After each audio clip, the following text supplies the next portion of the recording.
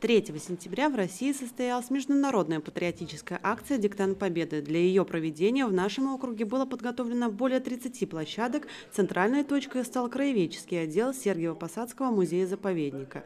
Здесь за парты сели депутат Государственной Думы Сергей Пахомов, глава Сергиево-Посадского округа Михаил Токарев и депутаты окружного совета.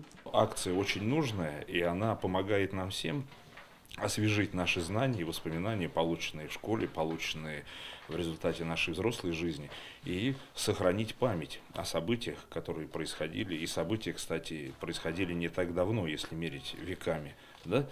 Везде на наших памятниках написано «никто не забыт, ничто не забыто». Сейчас есть возможность проверить, насколько ты соответствуешь этой надписи, действительно ли ты помнишь. Участникам диктанта предстояло ответить на 25 вопросов. На выполнение всего теста отводилось 45 минут. Вопросы, которые в этом году вошли в тестирование, касались не только исторических событий Великой Отечественной войны, но и ее отражения в кинематографе и литературных произведениях. Вопросы достаточно сложные, а особенно касающиеся э, цитат э, великих полководцев. А, то есть, естественно, человек, э, который ну, без подготовки сложно сдать подобный тест.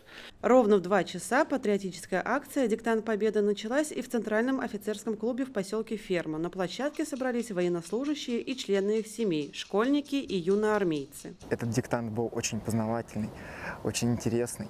Вопросы были достаточно трудными, но с задачей я справился. Акция «Диктант Победы» была запущена в 2019 году в рамках партийного проекта партии «Единая Россия. Историческая память». Итоги диктанта подведут в октябре. Информация о победителях будет опубликована на сайте диктантпобеды.рф.